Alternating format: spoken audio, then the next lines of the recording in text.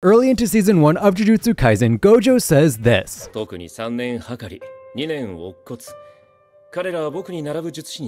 But is it true? Can his students actually surpass the Satoru Gojo? Your first impression might be no, but I don't think it's that cut and dry. So today we're going over each and every one of Gojo's students at Jujutsu Tech Tokyo to see if any of them have the potential to surpass their teacher. Starting with our main character, Yuji Itadori, and if I'm being honest, he doesn't really have a chance. At least as he is now. As far as we know, Yuji's curse technique is soul swapping, and while it seems good in the current manga, I kind of have a hard time seeing what its combat application limitations might be. While his physical abilities are obviously stronger than the average sorcerers, they seem to be somewhat insignificant compared to the likes of Gojo and Sukuna. But Yuji was one of the students that Gojo thought could surpass him, so there has to be a chance, right? Well, probably not. See, this conversation was at the point in the story that Gojo believed Sukuna's technique would be etched into Yuji's body. So in this conversation, he was likely taking Yuji's natural talent for jujutsu, his superhuman physicality, and him gaining access to Sukuna's ability into account. But I think I'm going to leave Yuji as a maybe. He is the main protagonist of a shonen manga, so him becoming the strongest character in the series isn't completely out of the question. Plus, he might have other techniques up his sleeve that we don't know about yet as well, so I don't want to completely rule him out, but I also can't confidently say that he is a yes. Next we have Megumi. Megumi is one of the few characters who have been foreshadowed to become equal to Gojo, as the last Limitless plus 6 Eyes user and the last 10 Shadows user each killed each other in combat. This means Megumi should be able to become equal to Gojo in theory, Italy right? Well, I kind of doubt it. Saying Gojo and Megumi are destined to become equals implies that all Limitless and Ten Shadows users have the same maximum potential, but I just don't think that is true. We can clearly see that even with a strong technique, the sorcerer using it still matters. Gojo soundly beat Sukuna while he had the Ten Shadows technique and his own technique, so I would say this is pretty good confirmation that he is stronger than the last Limitless and Six Eyes user, as there is no way that the Ten Shadows user that Limitless user faced is stronger than Sukuna. With this taken into consideration, I highly doubt that Megumi would be able to surpass Gojo, as it would basically mean Megumi surpassing Sukuna. Megumi also seems to lack confidence in his abilities, and I think this is one of the aspects that is holding him back the most. The other major aspect holding him back is his interpretation of his Shikigami. A Ten Shadows user can pretty much imagine their Shikigami in any way that they want, and the interpretation that Megumi chose for most of his Shikigami is kind of bad. Some aren't horrible, but compared to what Sukuna did with them, they just feel really underwhelming. He would really need some kind of power up after he's freed from Sukuna if he wants to surpass Gojo, and if he doesn't get one, then I just don't think he has any chance. Don't worry, some of Gojo's students definitely have the potential to pass him. They're just not first years because the last first year also has little to no chance of surpassing Gojo. Let's just be brutally honest, nobody expects Nobara to come anywhere close to Gojo. She doesn't have an impressive amount of cursed energy, and her curse technique doesn't really have any strength compared to the limitless technique. While Resonance is a good technique that allows Nobara to do damage to any and all of her opponents, Straw Doll in general lacks the offensive power that Limitless offers. I mean, even a special grade spirit like Mahito kind of shrugged off resonance with very little effort, so I doubt stronger opponents would be affected much at all. On top of this, Straw Doll also does not supply her with any defensive capabilities of any form. This is the main reason that Nobara cannot surpass Gojo. Without a defensive ability, she has to rely entirely on cursed energy reinforcement in order to take hits. And and her hit-taking ability already seems to be a big weakness for her. In fact, not having defensive capabilities is the biggest hurdle for most of the sorcerers that we're comparing to Gojo. Infinity is just that good. So all the first years were busts on surpassing Gojo, but what about the second years? Well, they fare a bit better, or at least some of them do. Let's get the obvious flops out of the way. First up, Inumaki. Look, I love Inumaki as a character and for his ability, but like, from a strength perspective, he kind of blows. Cursed Speech is a a fairly versatile technique on the surface, but Inumaki does have a few issues. First of all, cursed speech is one of the few techniques that can actually hurt its user, as cursed speech can only be used as long as the user's throat is in decent condition, and usage of cursed speech of course degrades the throat more. Basically, what it boils down to is cursed speech is not a good enough technique, and Inumaki does not have enough potential as a sorcerer to come anywhere close to Gojo. He doesn't do anything super well, and while he was the strongest second year at the beginning of Jujutsu Kaisen 0, he just gets outcrept by his peers. Next is Panda, and this is another very obvious no. While Panda's technique does not have the limitations of Inumaki's, it's still kind of mid. The ability to switch between the three sibling cores does give Panda some versatility on his offensive options, and his gorilla mode actually gives him a great technique in the form of unblockable drumming beat, but beyond that he doesn't really have anything going for him. His cursed energy pool is kind of mediocre, his physical capabilities seem average at best, and it also does not seem like he has the capabilities to heal in the way that some sorcerers do because he's made of stuffing rather than skin. These two were just overall power crept by the series, meaning they didn't get stronger as new, stronger sorcerers were being introduced. If anything, these two got weaker as Inumaki lost his arm, limiting his hand-to-hand -hand combat options, and Panda later got his two stronger cores destroyed, rendering him extremely weak. Luckily, that is not the case for the last two second years, Maki and Yuta. Maki in particular is infamous for getting not one, but two power-ups in Jujutsu Kaisen. The first comes after Mai's death, which allows the sister to fully manifest her heavenly restriction. This was limited beforehand because the twins split their power, severely undercutting both of their maximum potential. With the proverbial shackles undone, Maki got her first power-up, making her equal to Toji in strength. This was a huge power-up from where she was before, and it allowed her to be a number of grade 1 sorcerers like Naoya and Jinichi. But she wasn't done yet, as Maki got another power-up in the Sakurajima colony, which far increased her perception of the world around her. This made her equal to Toji in every way. But Toji isn't Gojo. Sure, Toji beat Teen unawakened Gojo, but the second Gojo awoke, he lost. And that was Gojo before truly mastering his abilities or developing a domain, both of which Season 1 Gojo has done. Obviously the domain itself doesn't matter as Maki is immune to them, it's more about the act of mastering a domain considering even special grades don't always have them. The main thing Maki has going for her is her work ethic, as she is among the hardest working students at Jujutsu High, if not the hardest working. But work ethic alone likely isn't enough for her to surpass Gojo. He just has everything Maki has, and more. Even if she used some of the best curse tools in the series like the Inverted Spear of Heaven or Playful Cloud, she still wouldn't have the offensive capabilities that Gojo has. She just lacks in destructive output and lacks in a good arranged option. And that brings us to Yuta. Much like Yuji, Yuta was one of the characters that was used as an example for being able to surpass Gojo. And honestly, I think he might be able to do it. Keyword there is might. There are a few reasons I believe this. First of all, Yuta is an extreme jujutsu prodigy. He ascended to the rank of special grade just three months after dispelling Cursed Rika, which is an incredibly short time period. This shows he has incredible potential for growth, especially when you consider he hasn't had a traditional power-up in the way Gojo, Maki, and others have. While it's obvious obvious that not every character gets some sort of power up, it has been teased a bit that Yuta might be getting one, if he survives long enough. This speculation mostly comes from his conversation with Ryu, where Ryu mentions that he could become much stronger if he cast aside his humanity. Whether or not this power up actually happens has yet to be seen, but my main point is that there is still apparently a lot of room for growth for the second strongest sorcerer. On top of this growth, Yuta also has one of the most versatile techniques in the show in the form of his copy ability, which of course lets him copy any technique technique that he interacts with after fulfilling some conditions. There seems to be no limit on how often he uses or switches between techniques, as long as they fall within Rika's 5-minute connection. This technique could potentially allow Yuta to use techniques that rival the Limitless technique in quick succession, such as the Ten Shadows technique, Star Rage, and potentially even the Slash that cuts the world. All of these pair extremely well with the next aspect of Yuta that gives him so much potential, his enormous cursed energy pool. With the second largest pool of cursed energy in the series behind behind Sukuna, Yuta's cursed energy pool is one of his defining features. It's part of the reason his curse technique is so dangerous as the depth of the pool allows him to use curse techniques with little to no worry of running out of cursed energy. But there is one flaw in Yuta's cursed energy that could be cleaned up a bit. His cursed energy efficiency. Cursed energy efficiency is a poorly defined concept within Jujutsu Kaisen, but it seems to mean using less cursed energy to do more. So for instance, the Six Eyes give the holder hyper efficiency of their cursed energy, which which gives them semi-infinite cursed energy, as the cursed energy used by a 6 Eyes user for a cursed technique is often so little that the user's pool is already replenished before the technique is even finished being used. Obviously this is an extreme example, but it is stated that a level of efficiency similar to this might be attainable for non-6 Eyes users, as Sukuna also had efficiency that was kind of comparable to the 6 Eyes. Now I'm not saying that Yuta would get to that level of efficiency, but based on how quickly he ran through cursed energy in his fight in Sendai, his efficiency definitely seems to be an aspect that he could improve on. If he does improve his cursed energy efficiency, that could lead to him surpassing Gojo since he already has more cursed energy and a more versatile technique than his teacher. But it's still not the final reason that I think Yuta could surpass Gojo. That is his domain. At the time of recording, we still don't know the specifics of how Yuta's domain functions, but we do know that he can imbue any cursed technique that he's copied into his domain, and use any cursed technique that he's copied while the domain is active if he picks up a sword relating to it it. I truly believe that this is one of the few domains that can actually pass Infinite Void in terms of utility and strength, because it can literally be Infinite Void and any curse technique that Yuta wants to use to dice up his opponents. Like, imagine if during Gojo's fight with Sukuna, he could open his domain and then pick a different technique to attack Sukuna with that might be more effective for domain battle than the Limitless technique. Yuta could do that. He can just take one of the best domains in the series and make it better. The only issue with this aspect is how refining a domain works. As it currently appears that Gojo's domain is more refined than Yuta's. We don't know if refining a domain is 100% based on strength, or if it is a process that is different than growing stronger in Jujutsu in general, or if it's based off of cursed energy efficiency or how good the user is with barriers, or whatever. If it is an aspect of cursed energy that can be trained or honed, then I would say Yuta can probably eventually create a domain stronger than Gojo's. But if it's based on some innate talent, then it's really hard to tell. Now, maybe I'm crazy, but I do think it's it's kind of likely that Yuta could surpass Gojo. He has incredible talent and incredible technique, and he's only 16 years old. He's got 12 years to get where Gojo was when he said this, and I don't think that's an impossible task for the second strongest sorcerer, as long as he lives that long. Anyway, next is Kirara. Do I even need to say it? They don't really stand a chance at surpassing Gojo. While their technique is decent, it's nowhere near good enough for them to even look at the tier of special grade sorcerers. While most of Jujutsu is determined by by a person's natural talent, drive is also a factor, and this is one aspect where I think Kirara really suffers. Maybe I'm wrong, but they seem like the type of sorcerer who only uses jujutsu when they need it rather than the type that wants to be a sorcerer. So let's move on to the final sorcerer and the second most likely to surpass Gojo, Hakari. Hakari is the final student from Tokyo that Gojo believes could surpass him, and he has also been stated to be stronger than Yuta when he really gets going. But there is one glaring issue with Hakari; He's just just unpredictable. His technique, Idle Death Gambit, allows him to have unlimited cursed energy for 4 minutes and 11 seconds after hitting a jackpot. This is an incredibly powerful ability as it allows him to fight without worrying about running out of cursed energy, and he also gains automatic reverse curse technique which is faster than even Gojo and Sukuna's, so I guess technically he has already surpassed Gojo in one aspect. But in every other aspect, I have a hard time seeing Hakari pass Gojo. The main issue is that Hakari does not have a technique to apply his unlimited cursed energy to. This means means he has to rely on close combat to fight, which puts him in serious danger the second his jackpot runs out, meaning that every move Hakari makes is a gamble. Go figure. This gambling nature is a major reason that I don't think Hakari can surpass Gojo. Imagine if Gojo had to roll a dice in order to activate Infinity instead of just always having it active. That is essentially the position Hakari is in. So while he might be able to temporarily rival or surpass a sorcerer like Yuta, his lack of consistency makes it hard for me to say that he would be able to surpass past Gojo. Now, Hakari is another one of the characters that hasn't gotten any sort of power up yet, so maybe if he comes close to losing to Uraume, he will get one. There's also a theory that Hakari has an even stronger jackpot after landing a 777 jackpot, so if that theory is true, this might be another temporary way for him to surpass Gojo. But if we have to think about hypothetical theories to get Hakari past Gojo, then he obviously isn't at that level right now. At best, Jackpot makes him among the strongest characters in the show, but that's just not quite the same as surpassing and Gojo. Anyway, thank you so much for watching. Please be sure to subscribe, and I'll see you again next week for another video.